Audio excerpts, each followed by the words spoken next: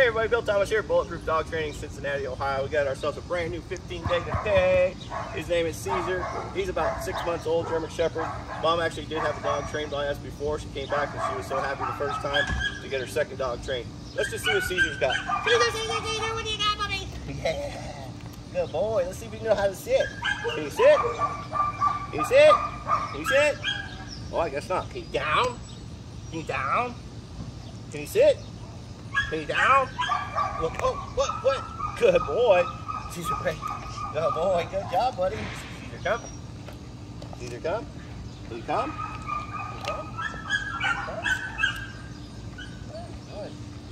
Not too bad. Caesar did come in a little nervous, but he didn't seem too bad today.